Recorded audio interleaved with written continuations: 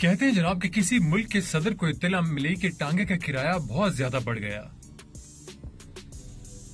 सदर ने फ़ौरन आम लिबास पहना और भेस बदल कर एक कोचवान यानी टांगे वाले के पास पहुँचा। वहाँ पहुंचकर कोचवान से एक मशहूर जगह का नाम लेकर कहा कि वहाँ तक जाने के कितने पैसे लोगे। कोचवान बेचारा सादा मिजाज, उसने सदर को पहचाना नहीं और पहचाने बगैर जवाब दिया, जनाब, मैं सरकारी नर्क पर काम नहीं करता। सदर ने कहा, बीस लोगे कोचवान ने कहा, और ऊपर जाओ। सदर ने कहा, तीस? कोचवान और ऊपर जाओ।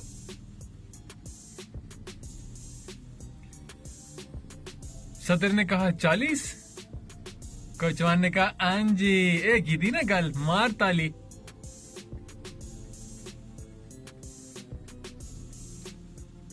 तो जनाब, चालीस में हुई बात डन।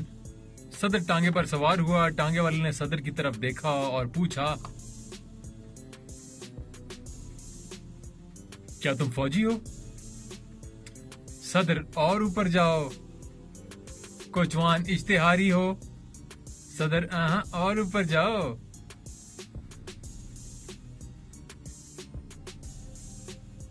कोचवान डॉक्टर हो। सदन का ना सोने ना और ऊपर जाओ।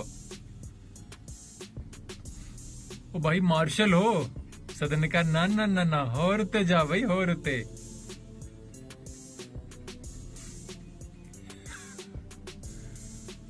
टांगे वाले ने टांगा रोका और पूछ कर कहा, भाई, तुम सदर तो नहीं हो?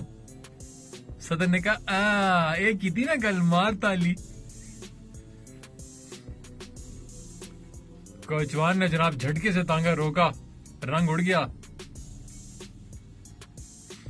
कोचवान ने सदर से पूछा, मुझे जेल भेजोगे? सदर ने कहा ऊपर जाओ। कोचवान जिला वतन करोगे? सदर ने कहा, ना सोने, ना और ऊपर जाओ।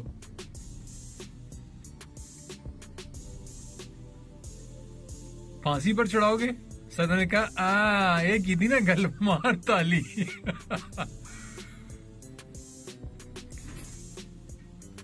तो जनाब मॉडल ऑफ़ द स्टोरी ये था कि अगर तीन चार तालियाँ हमारी ज़िंदगी में ऐसी ऐसी बजती रहे तो यकीन माने सारा सिस्टम हो जाएगा ए वन फ़र्स्ट क्लास